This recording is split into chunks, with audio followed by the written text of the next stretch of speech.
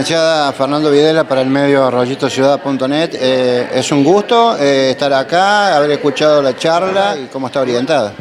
Bueno, me han convocado para hablar eh, en realidad una jornada de, vida sana. yo lo que promuevo es comenzar a vivir nuestra alimentación y nuestra, nuestra alimentación como un proceso de cambios, ¿sí?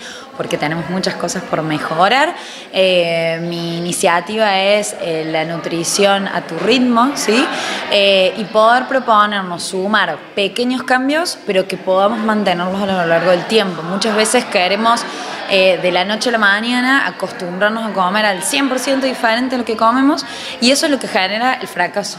¿sí? porque no lo podemos sostener. Entonces por ahí ir sumando pequeñas acciones, ¿sí? Eh, tomando un poquito más de agua, comiendo un poquito más de frutas, comiendo un poquito más de verduras, disminuyendo por ahí el consumo de algunos productos que tengan mucha azúcar, mucha grasa, que por ahí son consumos diarios, que por ahí sean menos veces a la semana.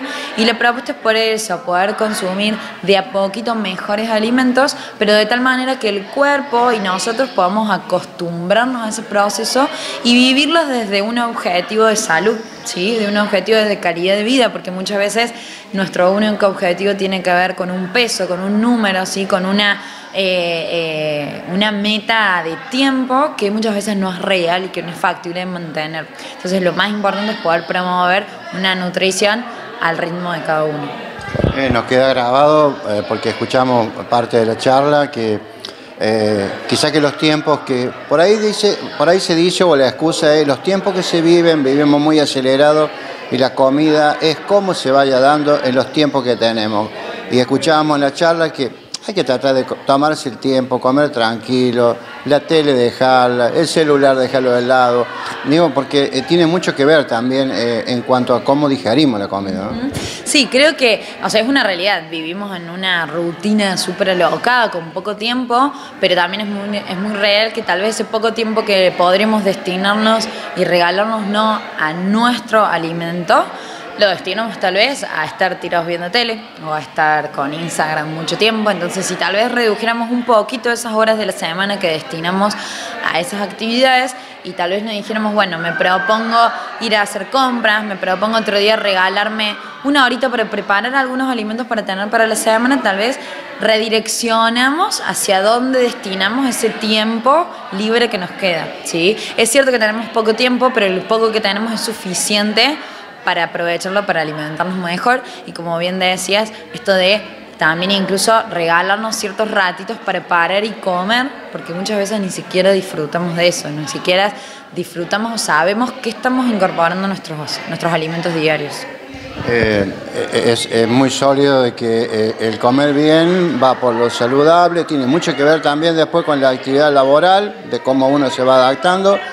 Eh, ¿En qué porcentaje eh, hacemos caso? ¿En qué porcentaje comemos bien o comemos mal? Bueno, creo que las estadísticas hablan por uno. El hecho de que tengamos 6 de cada 10 personas que tengan exceso de peso eh, habla de la realidad en la que vivimos y, de lo que nos cuesta. Eh, a lo que voy es que creo que, que, era un poco lo que proponía en la charla de, de cambiar esta mirada, ¿sí? porque si la mirada la estamos poniendo en eh, lo rápido, lo inmediato, todo ya, todo tiene que salir para todo el mundo y todo el mundo tiene que lograrlo en el mismo tiempo, no es real, no es real que lo podamos hacer. Por eso a lo que propongo es decir, bueno, tal vez todos estos cambios que tengo que hacer en mi alimentación me los voy proponiendo de a uno por vez. Y tal vez durante dos semanas me propongo solamente tomar más agua. Y una vez que logre eso, me propongo comprar fruta y agregar una por día. Me voy proponiendo cosas pequeñas que pueda consumir, porque muchas veces lo que en realidad no podemos hacer es sostener una cosa, la cantidad de cosas nuevas que tenemos que hacer, ¿sí? Entonces, en eso creo que es lo que más fracasamos. ¿En qué grado, eh, si bien es cierto es su, profesión, eh, en, qué grado uno por ahí dice debemos acudir al nutricionista en la medida que se pueda? Eh, creo que hoy en día marca de que, que hay que hacerlo porque está muy clarito cuando escuchamos la charla de que nos ayuda a vivir mejor. Sí, mira, yo lo que, lo que siempre trato de promover es que los nutricionistas estamos para muchas más cosas que meramente eh, bajar de peso, ¿sí? que por ahí hay personas que tal vez tienen inquietudes acerca de algunos alimentos y necesitan aprender y pueden ir a hacer una consulta de una vez, de dos veces y es suficiente. Eh, y que creo que cualquier persona que quiera promover un cambio en su estilo de vida, tenga que cambiar por ahí eh, su, su alimentación porque tiene algún problema de salud, de sobrepeso, de obesidad, los nutricionistas estamos para acompañar en ese proceso y creo que por ahí eh, cuando lo hacemos acompañado a la mano de un profesional, ese cambio es más factible de lograr porque tengo herramientas que me da un otro que básicamente se dedicó muchos años a estudiar eso.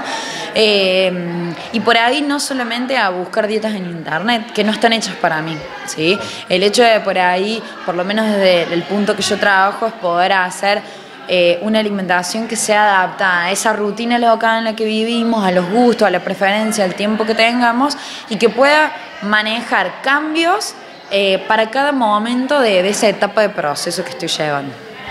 Indudablemente que en una nota no podemos reflejar todo lo que realmente hay que prestarle mucha atención. Uno dice por ahí, es, la, idea de que, de que podamos llevarle a nuestra gente, a nuestros seguidores, eh, en, lo que ha sido esta charla, eh, lo que básicamente contiene la charla, que eso es lo importante. Y bueno, desde ya agradecerle a usted la, gentileza que ha tenido. Bueno, muchas gracias. Me, me alegro que por ahí haya medios que lo cubran. Creo que también es importante destacar al Consejo de Profesionales de Ciencias Económicas que, hagan estas instancias, que convoquen profesionales.